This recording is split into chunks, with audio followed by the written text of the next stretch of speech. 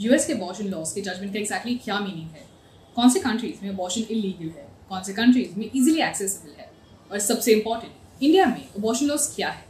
ये हम सब जानेंगे इस नोयो लॉज वीडियो में। दुनिया भर में अबॉर्शन लॉज के बारे में काफ़ी डिबेट चालू है यूएस सुप्रीम कोर्ट के रो वी वेड के जजमेंट के बाद। यूएस में फेडरल लॉज होते हैं और स्टेट लॉज होते हैं। फेडरल लॉज पूरे देश में एप्लीकेबल होते हैं और स्टेट लॉ सिर्फ़ उन स्पेसिफिक स्टेट्स के लिए। इस जजमेंट ने 1973 का लैंडमार्क डिसीज़न ओवरटर्न किया है और बेसिकली ये कहता है कि 15 हफ्तों के बाद अबॉर्शन अलाउड नहीं होगा। अभी अलग अलग स्टेट्स अबॉर्शन बैन या रिस्ट्रिक्ट कर सकते हैं।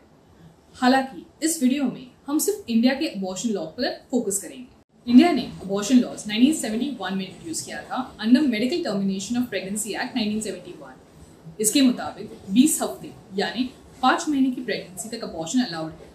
और 2021 में एक अमेंडमेंट आया था जिसके मुताबिक ये 24 हफ़्ते तक भी एक्सटेंड हो सकता है। 18 साल के ऊपर मैरिड या अनमैरिड वुमेन को किसी भी पेरेंट गार्डियन या हस्बैंड की परमिशन की ज़रूरत नहीं है अबॉर्शन के लिए।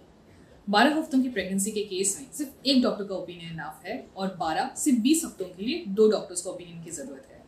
अगर 24 हफ्तों के बाद कोई फोइटिस अबनॉर्मलिटी की वजह से अबॉर्शन करना है तो एक state level medical board setup होगा ये डिसाइड करने के लिए। 24 हफ्तों के बाद अबॉर्शन इन कंडीशंस पर हो सकते हैं। पहला इन केस ऑफ़ रेप दूसरा, अगर वो लड़की माइनर है।